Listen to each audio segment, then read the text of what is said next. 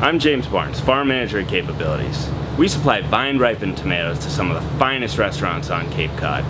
One of our restaurant partners prefers to use our green tomatoes in their southern-inspired dish, in something that you could say probably isn't found anywhere else on Cape Cod. I went out there to take a look. I'm here with Donnie Gangway at Diamond in the Rough restaurant in Yarmouthport off Route 6A. And uh, a couple weeks ago, these guys came to Cape Abilities Farm and they were buying up all our green tomatoes. And we really uh, don't have a lot of green tomato business, so it spiked my interest. And Donnie is going to show us what it is they're actually doing with the green tomatoes. So what, we're, what we're doing today is we're going to make an inverted BLT, a green BLT. All right.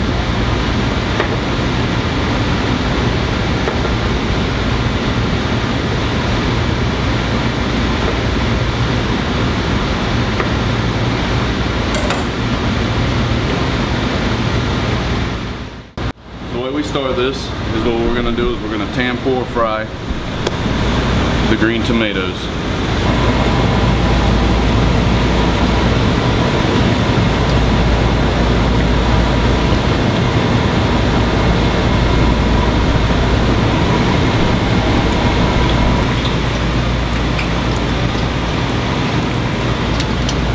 You want to make sure to fry them till they're golden brown.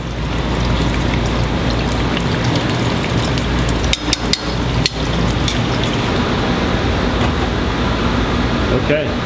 Now we're going to build the green tomato BLT.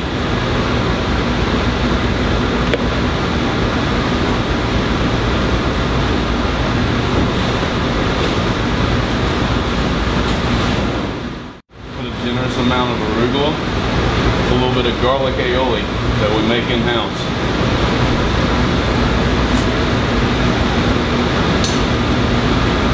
We have some delicious pecan smoked bacon.